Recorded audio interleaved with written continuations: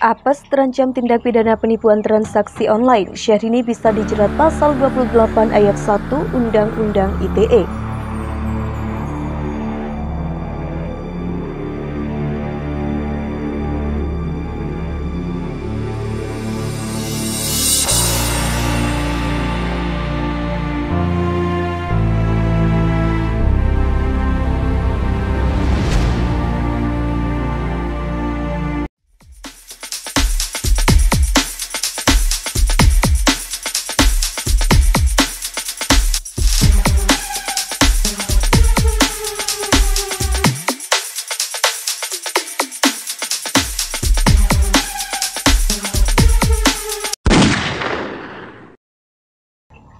Artis fenomenal dengan segudang sensasi, gaya rambut dan bulu mata, Fatima Syahrini Zailani yang akrab disapa Syahrini itu kembali terancam dipolisikan. Istri dari Reino Barak yakni Syahrini diduga menjalankan fashion muslimah seperti mukena, kerudung, atau skref secara tidak amanah dan membuat konsumen mengalami kerugian. Jika hal tersebut benar, Syahrini bahkan bisa terancam pidana penipuan pasal 62 ayat 1 Undang-Undang Perlindungan Konsumen dengan pidana penjara paling lama 5 tahun dan atau denda paling banyak 2 miliar.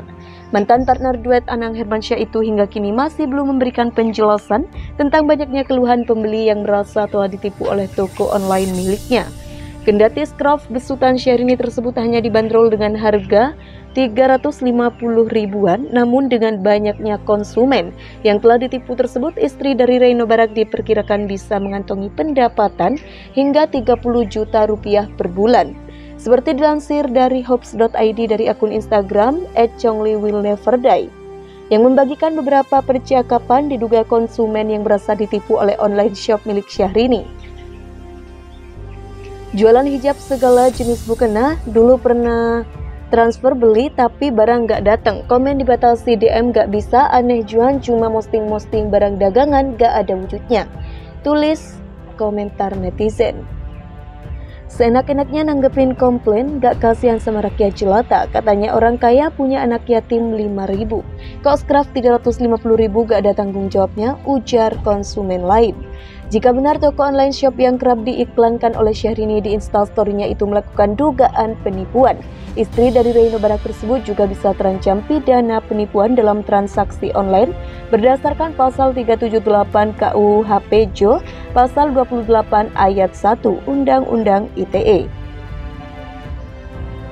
Kendati banyak konsumen yang telah beramai-ramai berkomentar di akun online shop Syahrini sembari menyematkan akun Instagram istri dari Reino Barak tersebut. Namun hingga kini masih belum ada kejelasan. Setelah diamati akun Ed Fatimah Syahrini yang digunakan Syahrini untuk berjualan online bisnis kerudungnya itu tak memiliki banyak komentar meskipun telah diikuti oleh 227 ribu pengguna Instagram. Layaknya membeli followers, kebanyakan komentar yang menyambangi IG at Fatimah Syahrini adalah fake akun yang membagikan berita-berita gosip di feednya.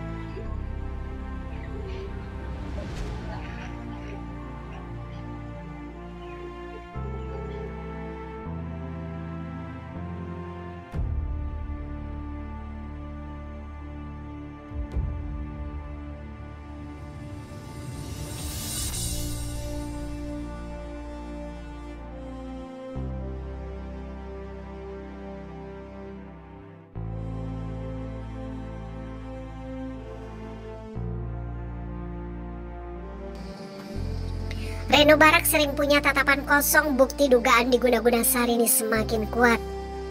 Isu retaknya rumah tangga Sarini dengan Reno Barak santer terdengar apalagi saat sosok yang mengaku staf keluarga membocorkan kebenarannya disertai sejumlah bukti.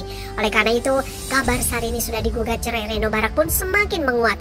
Staf ini juga menjelaskan, Sarini kini dalam kegalauan dan berusaha keras membujuk agar Reno Barak tidak lantas menceraikannya. Selain itu, orang ini juga menduga bahwa Sarini memilih jalan pintas agar bisa kembali mendapatkan hati Reno Barak melalui cara yang tidak biasa, yaitu melalui melalui air yang sudah dijampi-jampi. Diduga tujuannya agar niat Reno Barak menceraikan Sarini hilang dan beralih malah kembali mencintainya. Diketahui Sarini menggunakan jasa dari wilayah Banyuwangi yang dikenal sebagai kotanya para dukun sakti berasal.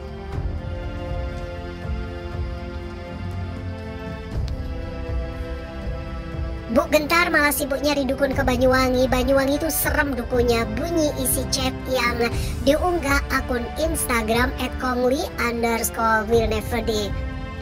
Dikutip Hops.id, lantas baru-baru ini ini mulai kembali memamerkan foto mesranya. Foto mesra yang baru saja dibagikan itu terlihat dirinya berada di pangkuan Reno. Kendati demikian, pose-pose Reno Barak di beberapa foto menunjukkan tanpa gairah. Bahkan tatapan mata Reno terlihat kosong seperti punya banyak hal yang dipikirkan. Banyak yang menilai, seharusnya Reno tersenyum saat berfoto dengan sang istri karena Sarini tampak ekspresif saat dipangku suaminya itu mukanya itu best husband. Kok kayak boneka gitu? Pandangannya kosong. Benar-benar kelihatan loh orang yang kena hal gituan. Meskipun bahagia tapi pandangannya kosong. Di teman aku juga digituin sama mantan pacarnya dan begitu bisa lepas dari sihirnya nggak lama langsung mati teman aku. Tulis seorang warganet Kebenaran isu soal diguna-guna itu tidak ada informasi tambahan yang bisa membuktikannya lebih lanjut. Begitupun soal isu gugatan Reno Barak terhadap Sarini. Pasalnya, baik Reno Barak maupun Sarini seolah berusaha menepis tudingan tersebut dengan lebih sering membagikan foto dan video kebersamaan mereka.